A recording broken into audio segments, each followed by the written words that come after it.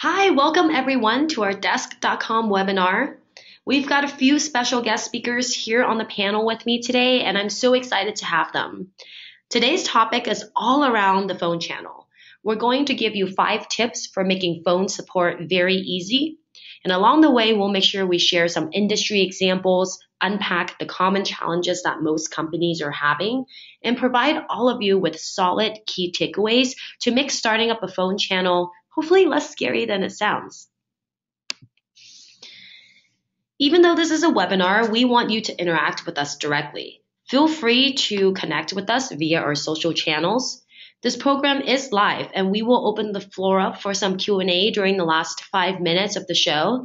We have about 25 minutes worth of content prepared for you and we want to save the last five minutes for Q&A to give you a chance to answer, to give you a chance to ask some of the questions that um, you would like to ask our panelists. So be sure to enter any questions you have during the webinar in the GoToWebinar chat panel. Lastly, we know that you're all busy people, so if you have to drop off, that's not a problem at all. This webinar will be recorded, as does most of our webin, as all of our webinars actually, and we will send you the recording after the webinar. We'll also post this on our YouTube channel. So to start, do you think customers expect even small businesses to provide a 1-800 number for support? You bet they do. Some industries like retail and e-commerce or more B2C businesses require a phone channel to be part of their multi-channel mix. So think about um, when you're buying a pair of shoes online, or what about Herschel's backpack? Those are some of the types of businesses where consumers are expecting to talk to someone live if they're encountering an issue.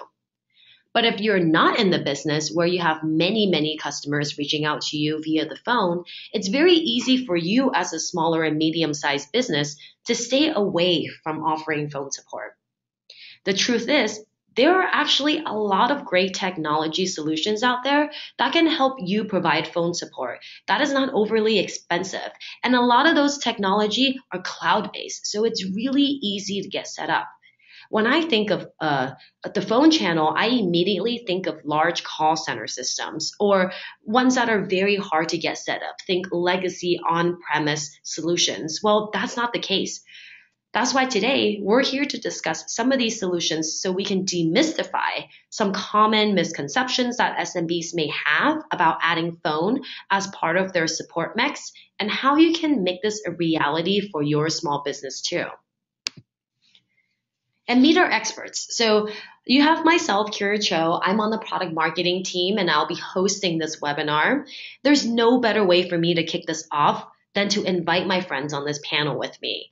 We've got Monica from New Voice Media, Sophie and Eric from Customer Service Lab. They're all very seasoned professional that provide a lot of expertise around any issues that has to do with support. Monica has over 15 years of professional experience in leading global product marketing and business development teams globally. And today, Monica works very closely with a lot of our Salesforce customers to help them maximize their Salesforce investment. And they all go to her if they are looking to find an integrated cloud solution based contact center strategy. Sophie and Eric are also very are also very seasoned and experts in this space. Sophie and Eric have worked with tons of startups, a lot of small businesses, and really helping all of them figure out what their customer service strategy should be and help them provide a roadmap and really help them get up and running. So the way we've broken out this conversation today is by providing all of you five tips on how we can make the phone support really easy. So now, tip number one, don't be afraid to launch in phases and wait for the right timing to launch the phone channel. So this question is really to Eric. Typically for startups or small businesses, when do you think is the right time for them to start adding the phone channel to their support mix? Um, thanks, Kara. I think this is a, a, really important question, and I think it's one that you know sometimes we overlook. Um, but first, I think it's it's important to understand what your customers need um, and want if you're a new company or a startup, you may not need to offer phone support immediately. It really depends on a number of factors. The type of product or service you're offering, um, does it demand a live channel? um, as your as well as your business model, your staffing, your budget, uh, and even office space. We talk to plenty of small startups who really just don't even have the room to have uh, people on the phones. Uh, many startups or or SMBs uh, start with email, self-service, and social, uh, and then add live channels like phone or chat later on when demand comes up. Um, oftentimes, you'll know when it's time to add phone support because your customers will tell you. Um, you can even survey them on their preferred method of contacting you for help. We really recommend this, for example, if a company has a, a new product with beta testing or is in a pre-order mode, um, it's a great time to survey them. Great, and I know you we've worked with a lot of startups before and small businesses. Do you have any specific examples you can show us? Yeah, I'm a big fan of this phased approach to expanding support channels. Um, it allows you to plan and execute implementation a lot more effectively. Um, so, for example, at one company I worked at, we were doing uh, email ticketing support. Plus, of course, we had a help center, but we knew we wanted to launch a live channel. And yes, our customers were telling us they wanted us to call. Uh, they wanted to call. Um, so we weren't sure what kind of phone volume we would have, and I knew from experience in, in running support teams and contact centers that we really needed to staff it appropriately. So meeting expectations around accessibility is super important with phone support. So what we decided to do was test demand for the phone uh, by offering voicemail to select customers. So the company I was working with uh, was really big on A/B testing. So we were able to sell this approach very easily to internal stakeholders as proof of concept and get some engineering resources assigned to it. Um, so once we had voicemail up, um, I was able to look at incoming call reports and assess how many people and what hours I needed to staff phones to meet demand. For example, I could look at uh, day of week volume and hour of day. Then I was able to hire and train the right number of people, and we expanded to live phone support. So I'm so glad we did this in phases because phone support exploded and soon became by far our number one channel. Nice. Tip number two. Let's be thorough and look at different phone solutions before you choose the one that best fits your need. So now the easy part's over. Do you need a phone channel? Yes, you do. So Sophie, when looking at different phone selections, which one do you think um, people should look at? Are there different uh, things that they have to go through when looking at different options? Yeah. So like you just mentioned, Kara, there's a lot of different solutions out there. Um, and just to name a few, obviously we have New Voice Media, who's here today. Uh, but there's also uh, players like RingCentral, Twilio, TalkDesk, Five9, 8x8, Genesys, and more. So the list is pretty long. Uh, this is why it's important that uh, you take the time to gather your requirements. I'm not talking about a huge RFP, but really taking the time to just list all your, your requirements, the main features and functionality you need, and don't forget to include other teams like marketing or your developers, even finance or product people who might also use the same solution and who might have uh, other requirements to add on your list. Be thorough and schedule demos, super important, and be sure to look at more than one. That way you can really compare.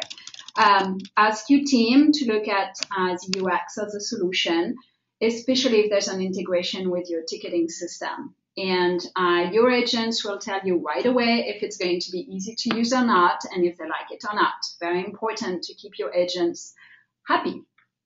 And Monica, what are some of the common requirements that companies look for when evaluating different telephony partners uh, when they're looking to deploy a phone channel? Yeah, no, and a lot of them are right along the lines of what Sophie just covered. But one of the first areas that we typically run to, probably because we are true cloud, is the requirements of cloud, or really looking at the advantages of having a cloud contact center solution. Because one of the big advantages is you're ensuring typically greater availability of your contact center um, and putting less resource requirements on what might be an already limited IT or operations team um, as it is today. And then overall, with the cloud, it really gives you greater flexibility from scaling regionally to really looking at how you want to modify things or customize things really on the fly it is not very resource intensive to do that. So I would say that's one of the first areas that we really see from from our customers. But then it really get, dives a lot into a lot of what Sophie was highlighting, which is the functionality and kind of how it's delivered. So um, I, I, threw uh, some screenshots here for you, kind of looking at some of the, the, some examples of this. So kind of one of the first areas is making sure that that solution is actually embedded into your desk.com solution. So it becomes very easy from an agent perspective in terms of managing their ticketing and their cases. They can see everything from their, um, you know, the the screen pop that comes in, how to handle cases. They know exactly who's calling in, and the the information around the customer is all right there within their desk.com console. Yeah, and actually, um, Monica, that's a good segue because that was actually uh, we have a list of the requirements here, uh, but you can keep talking through it. This is the, the, what the screen pop will look like, and then I think perfect. Yeah. Perfect. Yeah. So kind of like from the ab- ability to kind of you've got this embedded um, ticketing management here, which enables you to um, easily do whether there's an inbound call, you get the screen pop, which you can show the next slide, which shows you the actual kind of screen pop. You can take notes and build a case around that individual calling in. Um, or uh, once again, customer service is all about being proactive as well too, and following up with with individuals around questioning. You want to make sure that you have that what I would call click to dial capabilities. So instead of having your agents have a, a separate phone system and having to dial, when they click to dial inside the desk.com record, for example, they have the capabilities to be able to, you're now logging that um, both on the inbound and on the outbound side, which is going to help you, which I'll get to in a little bit, around your statistics and insights that you're going to have as management. So from a usability perspective, we really see kind of the, the screen pop uh, on the inbound side and the click to dial for your outbound dialing being very valuable. The, the other area that we see that many customers are also looking at is a lot around the routing calls um, based off of groups or product types, etc. So think about incoming calls. You, you many times don't want them to go all to the same group of individuals. You want to set up um, a system in place where you understand service calls can go to a service group, product type inquiries can go to the best product type individuals. Um, and making sure all of that is happening on the back end effectively. One, this helps your customers have a more personalized experience. But once again, it helps your agents as well because they're getting the types of calls that are applicable to them and they're best skilled to handle those types of calls. Um, one thing we've also seen is not just routing the calls to the right individuals, but one other thing that we've seen um, that's also been very helpful for uh, new companies to telephony is the capability to actually route voicemails to groups of people. So as you're setting up your telephony infrastructure, and, and Sophie and Eric they may have covered this a little bit earlier, but or they're covering it later. One of the areas that you find is you're you're trying to figure out what your call volumes are. You're you're assessing those areas, and there are going to be peak times. And one of the things you may want to offer, which really helps with that personalized engagement, is you know, leave a voicemail if the hold time is going to be too long. Well, you want that voicemail not to just to go into, a, you know, a pit that never gets answered. You want that still to be prioritized for your service teams to follow up with. So think about not even just routing your inbound calls, but then potentially if you have voicemails that are left or even you know, after work hours voicemails that are left, making sure that those go into a queue for the right individuals to then follow up with. So those are kind of some of the key areas we see um, as you look at, you know, some of the features that really help both the customers and the agents.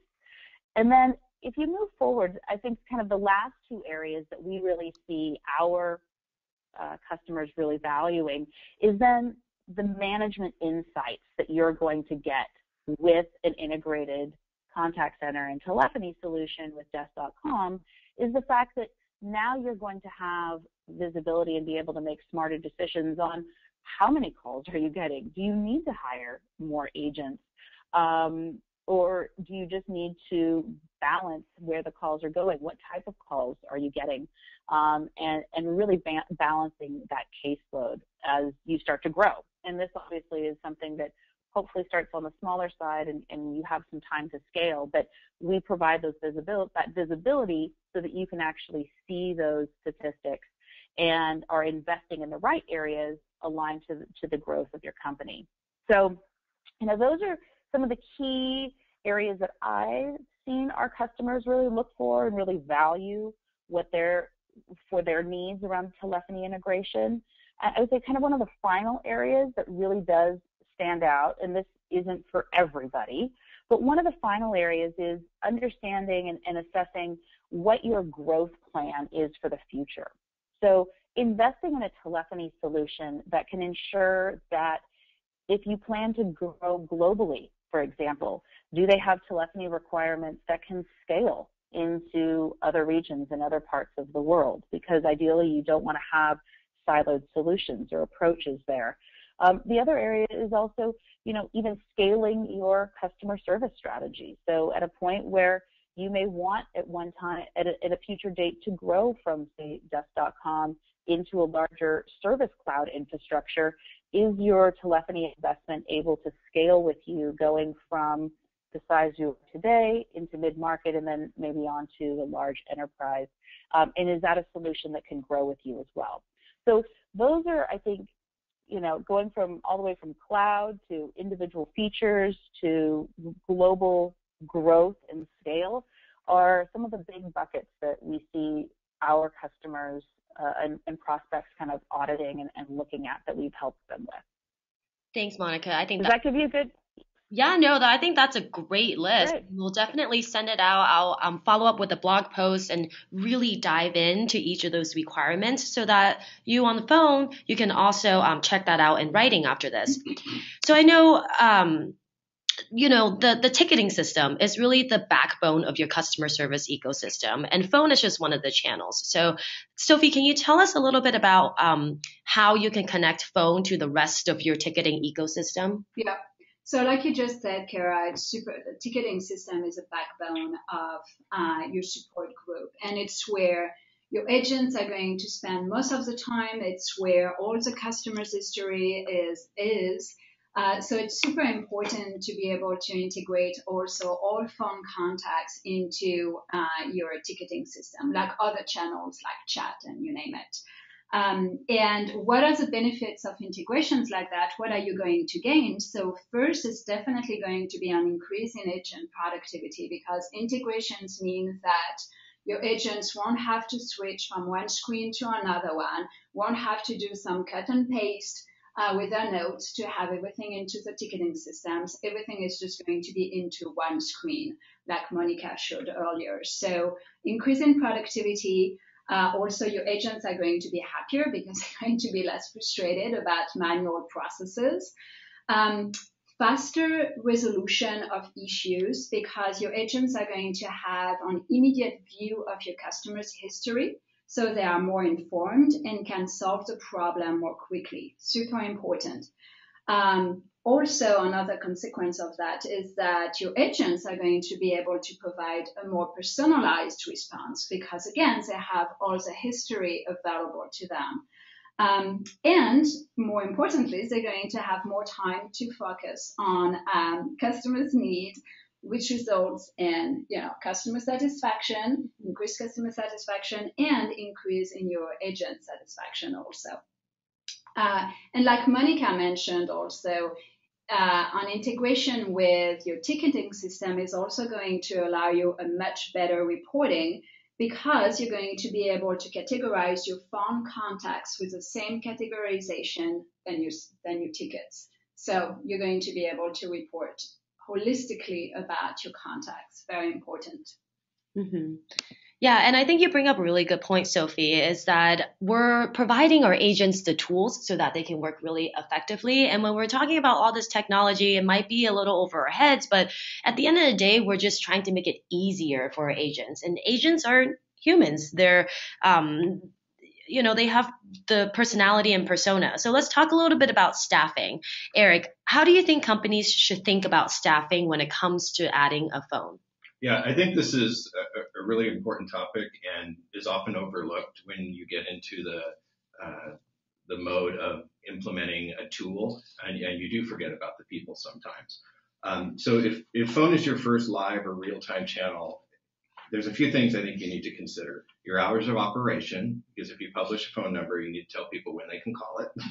Um, the increased number of people you'll need to cover these hours. We've talked a little bit about that uh, already.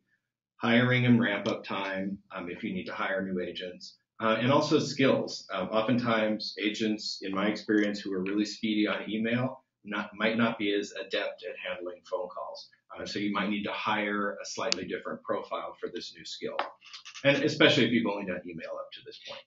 Um, also keep in mind that switching to live support or schedules uh, for the first time might have an impact on your team culture and daily work and even your overall company culture. So suddenly think about it. People who have had very flexible arrival times or come and go as they please um, will now be responsible for adhering to a schedule and covering phone calls at designated hours.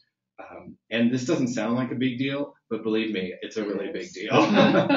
um, so if your team, for example, is the only one in the company that has scheduled work hours, this can lead to some dissatisfaction or frustration. And my advice is really to communicate, communicate, communicate about the changes, the timeline, and especially the benefit to customers. Um, I can't stress enough the need to pay attention to change management when you're launching a live channel like phones. And what are some of the advice that you can give to optimize a staffing plan? Um, sure. So first, like I talked about earlier, um, pay attention to your incoming call pattern. Monica uh, mentioned this as well. It's going to tell you if you have day of week changes or hour of day. Um, in my experience, those are slightly different for phones than email. Um, also, in, in, terms of flexibility, when you have multiple support channels, for example, email, phone, social, and perhaps chat, um, you have greater flexibility in assigning work. You can rotate assignment uh, between agents that help build skills and also keep their day-to-day work more interesting.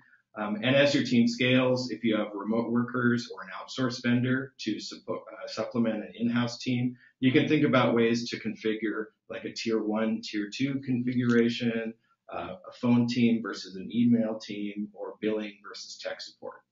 Um, and finally, as you scale and add channels and such, don't forget about your original or longtime employees. Um, without guidance, in my experience, many early stage startup employees often get lost or frustrated as your team and culture, uh, company culture changes uh, with growth.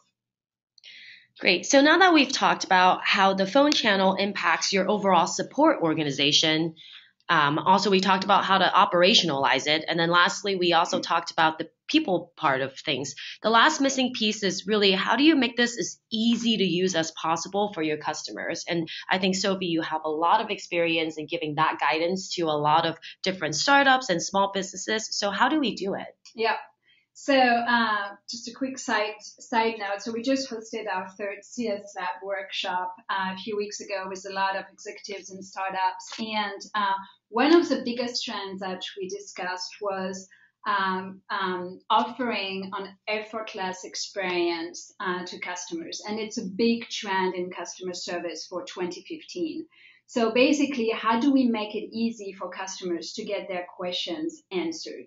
So with phone, it's super important. So one thing is keep a simple IVR. So the IVR is going to be the system that allows you to present options to customers. So if you have a laundry list of 15 options, nobody, I mean, you're going to have people just um, hanging up the phone. Uh, so we recommend to keep it uh, up to three, even five sometimes is way too long. Um, limit your hold time and uh, try to play nice music or even a fun story uh, so that actually your people want to stay on hold. um, offer customers to leave a message if they don't want to hold. Um, and also, you know, a big part of it is where you're going to display your toll-free number uh, and think about uh, your customer experience. So uh, display it on relevant pages like checkout uh, or uh, specific support pages, uh, not only just on the contact us page. And also, you know, uh, depending on the type of business uh, you're running, you may want to display your number based on customers' login. For example, you may have paid and non-paid customers. So obviously, you may want to just display your uh, toll-free number to your paid customers. Um, so just an idea. Great. So I think you guys all did. I was just going to add one other. I was just going to add one more thing to that too. Is um, when you have your phone line as well too now available in your telephony integration, kind of building on what Sophie just said,